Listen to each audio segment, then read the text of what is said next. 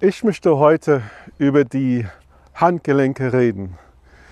Die Handgelenke haben eine ganz, ganz wichtige Rolle im Golfschwung. Die sind sehr wichtig für Schlägerkopfgeschwindigkeit.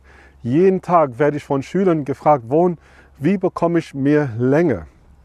Also der erste Ort, wo ich schauen würde, ist im Handgelenkbereich. Vor allem, wenn der Körper nicht immer so mitmacht, wenn er ein bisschen steif ist oder ein bisschen langsam ist. Im Handgelenkbereich kann man recht schnell und locker sein. Und dann durch richtigen Einsatz von Handgelenk kann man auch die Schlagfläche gerade bekommen. So habe keine Angst, deine Handgelenke, deine Hände einzusetzen. Ich werde in diesem Video dir zeigen, wie du richtig davon profitieren kannst. Ich habe übrigens ein Eisen 8. Mit diesem Schläger kann man ganz gut an den Schwung arbeiten.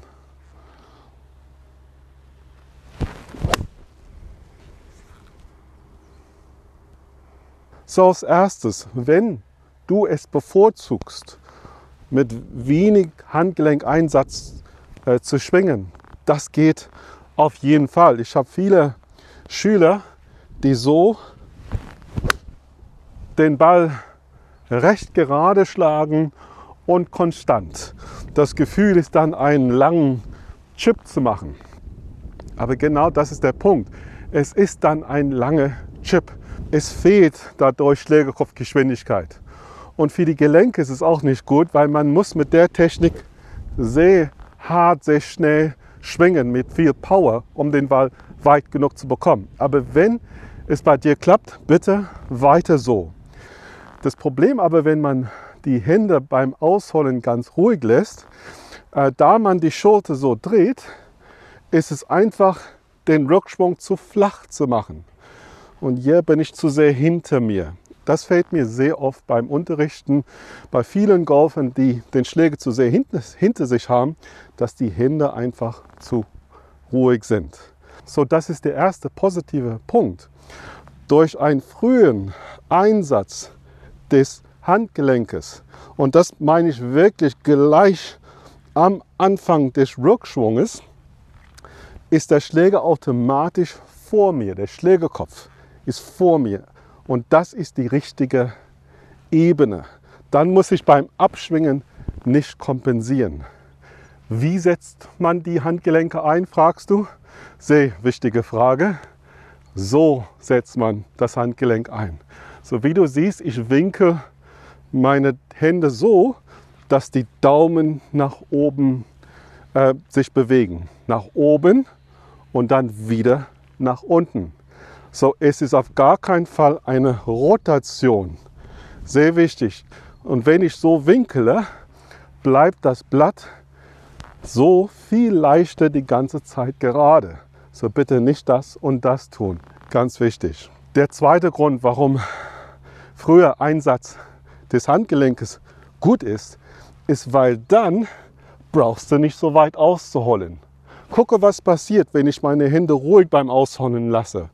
Ich habe meine Schulter fast 90 Grad gedreht und der Schläger ist erst da. Aber was passiert, wenn ich die Handgelenke früh winkle? Dann habe ich den Schläger schon hier und ich muss dann nicht so weit ausholen. Viele Golfer haben Probleme mit der Drehung. Irgendwas tut weh.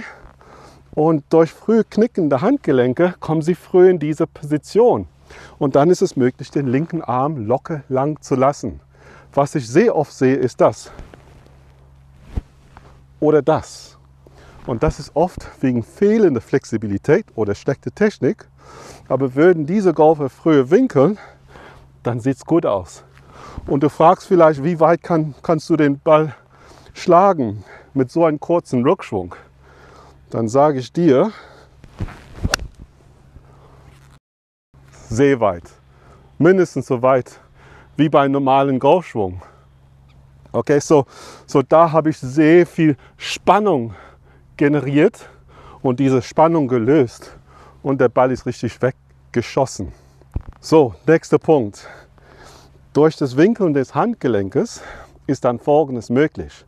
Du startest den Abschwung richtig mit einer Verlagerung nach links, mit einem Senken der Arme und dann kommst du in diese Position, kurz vor dem Treffmoment. Und das ist jetzt toll. Da ich hier einen Winkel habe, habe ich jetzt die Möglichkeit, diesen Winkel zu lösen.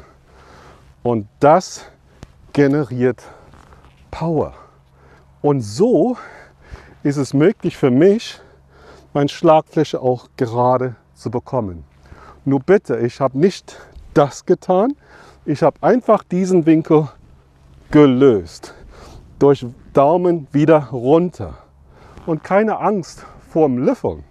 Weil wenn du das Gewicht links verlagerst und den Körper drehst, bevor du schlägst, dann kannst du nicht löffeln. Dann wirst du hier in diese Position kommen. So bewusst die Hände einsetzen, damit du durch den Ball releasen kannst. Release heißt entwinkeln. So, das werde ich jetzt bewusst tun.